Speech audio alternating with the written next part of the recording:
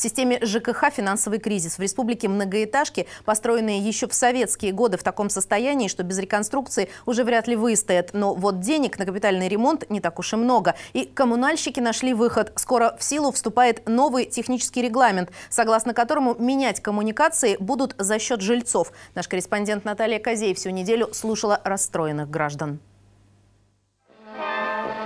Столица Беларуси Минск постоянно продолжает расти, строиться и становится лучше. 1969 год. Молодые и счастливые советские рабочие заселяются в новенькую многоэтажку. Тогда, запуская кошку через порог, эти люди даже не представляли себе, с какими проблемами они столкнутся через 30 лет.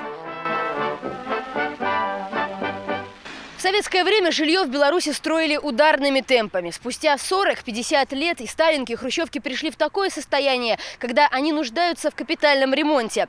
Сегодня проблема актуальна для всей республики. В Витебской области, например, сегодня каждый пятый дом ждет своей очереди на капитальный ремонт. Такая же ситуация примерно и в остальных областных центрах. Но сложнее всего дела обстоят в Минске.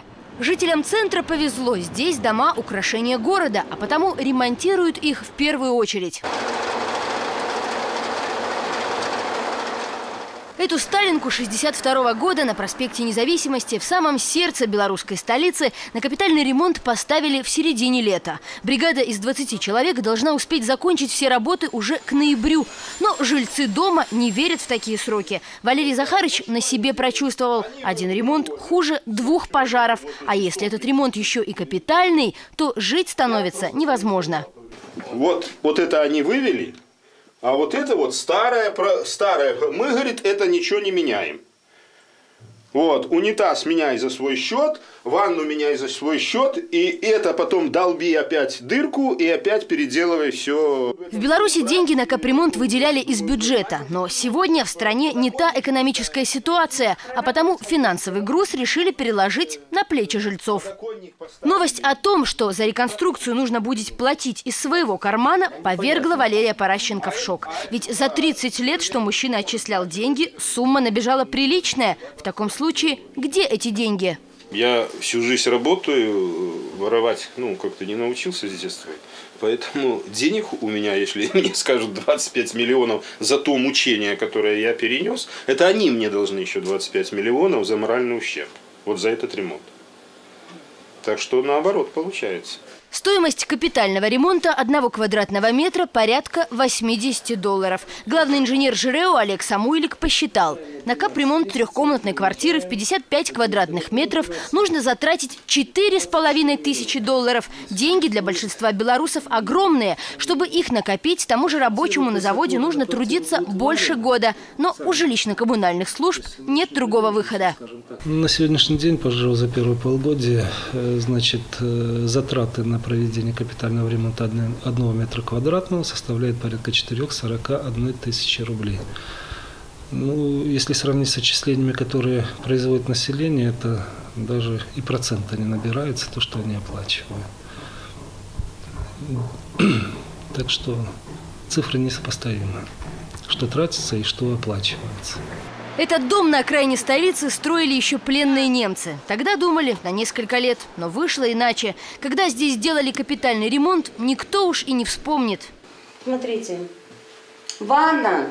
Сколько раз пытались вызывать сантехников, никогда никто не приходил, ничего это сам. У него как забито, так и забито. Он ванну сам постоянно пробивает, пробивает. Она у него ничего, вода не стекает. Все трубы это самое гнилые. Гнилые трубы, трещины в стене и протекающий потолок. Свою квартиру Игорь Орехтин называет халупой с давно истекшим сроком годности. С меня каждый день по 14 тысяч высчитывают, и я себе сам должен делать. Он мог делать. Спешу аж падаю. Сосед Игоря по дому и по несчастью Сергей Хильман ни на жизнь, ни на жест не жалуется. По жировке платит исправно, по дому все делает сам. Жаль только, говорит Сергей, стены сам не поменяешь. Залаживаем стены картоном, потому что э, одежда сыреет, невозможно, появляется плесень. То есть вот именно вот по этой стенке, в двух комнатах.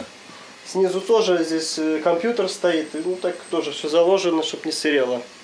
И если одни спят и видят, когда же в их квартиры придут и замажут потолок, то тех, у кого евроремонт уже сделан, как, например, у Сергея, слова «капитальный ремонт» приводят в ужас. Строителей в свою квартиру мужчина не пустит. Ну, с ремонтом, конечно, жалко. Сюда столько денег вложено. Не одна тысяча долларов, так сказать. Вот. На новом месте уже новый ремонт надо опять делать.